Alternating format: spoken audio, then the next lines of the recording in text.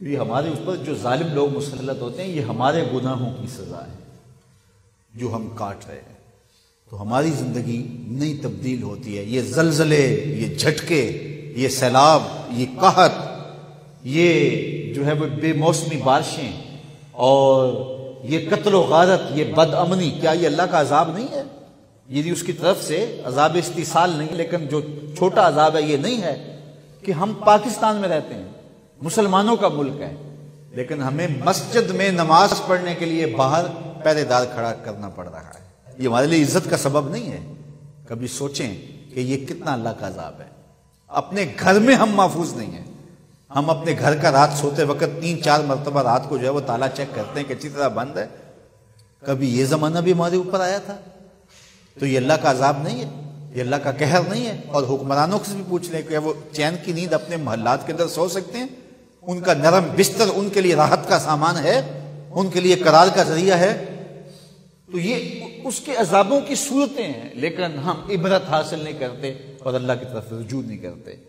اچھا نہیں کریں گے تو کیا یہ عذاب یوں ہی گزرتے جائیں گے؟ ایک زلزلہ اور آنے والا ہے۔ جب وہ آئے گا تو پھر کوئی بچ نہیں پائے گا۔ آئیے قرآن کھولیے۔ اللہ قرآن میں فرماتا اذا زلزلت الارض جب زمین تھر تھر کانپنے لگے۔ وہ اخرجت الارض اسقالها اور زمین اپنے بوجھ باہر پھینک دے گی۔ اتنا زوردار جھٹکا ہوگا۔ وہ اخرجت الارض اسقالها سکل جتنے بھی ہوں گے، خزینے ہیں، دفینے ہیں، دفن کیے گئے مزدے ہیں، پہاڑ ہیں، درخت ہیں، سارے اکھڑ کے بعد آ جائیں گے۔ اتنے زوردار جھٹکا ہوگا۔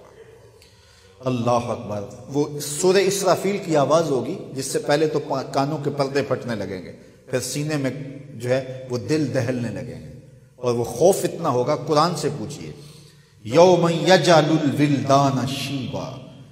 اس زلزلے کا، اس کا خوف اتنا ہوگا کہ یوم یجال الولدان شیبا۔ اللہ تعالیٰ فرماتا ہے، پیدا ہوتا بچہ اس خوف کی وجہ سے اس کے سیاہ بال فوراً سفید ہو جائیں اتنا خوف تعریف یہ کوئی کہانی نہیں، قصہ نہیں ہے۔ یہ حقیقت واقعیہ ہے جو قرآن نے بیان کی اب اندازہ کریں وہ کتنا خوف ہوگا۔ یوم یفر المرء من اخیہ و امہ و ابی ہے باپ بیٹے کو چھوڑ کے، بیٹا باپ کو چھوڑ کے۔ ماں بیٹی کو چھوڑ کے، بیٹی ماں کو چھوڑ کے۔ شوہر بیوی کو چھوڑ کے، بیوی شوہر کو چھوڑ کے بھاگ جائیں گے۔ کوئی کسی کا پرسان حال نہیں ہوگا۔ گابن اونٹنی اپنے بچے فوراً جن دیں گی۔ ان کے حمل ضائع ہو جائیں گے۔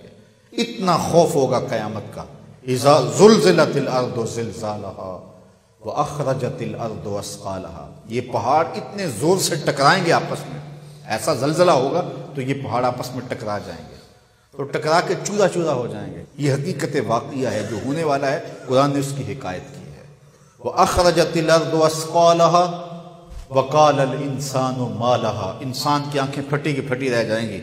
اور کہے گا، ہائے سے کیا ہو گیا؟ یوم تحدث اخبارها. پھر زمین بولنے لگے گی. زمین اس دن خبریں اگلے گی، بتائے گی کہ میرے اوپر کس کس نے کیا کیا جرم کیا۔ کتنا سخت دن ہوگا جب زمین بھی بول کے گواہی۔ زمین کیسے بولے گی؟ زمین تو بولتی نہیں ہے۔ بولتی تو زبانیں ہیں۔ اللہ فرماتا ہے، بِأَنَّ رَبَّكَ أَوْحَالَهَا تیرا رب زمین کو وہی کرے گا کہ زمین بول۔ زمین بولنے پہ مجبور ہوگی پھر بتائے گی کون کون میرے پہ دادے عیش دیتا رہا؟ کس نے کس کی عزت کہاں پامال کی؟ زمین بول کے کہے گا۔ اے داور حشر، میرا نام آئے اعمال نہ پوچھ۔ اس میں کئی پردہ نشینوں کے بھی نام آتے ہیں۔ پھر زمین جو ہے، وہ اگلے گی، راز اگلے گی۔ اللہ اکبر۔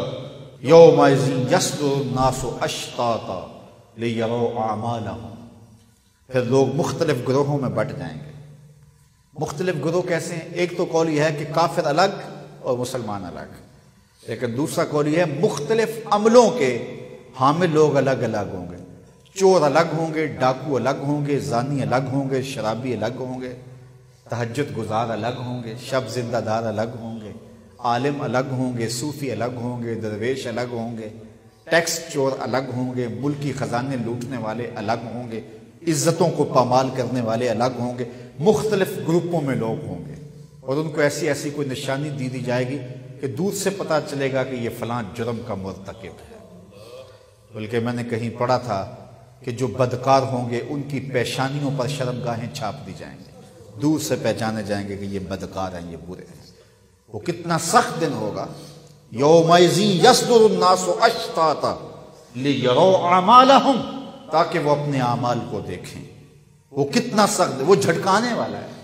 وہ جو ہے وہ ایسا نہیں ہے کہ بس ایک حکایت ہے اور بیان کر دی نہیں۔ امر واقعہ ہے جو ہونے والا ہے۔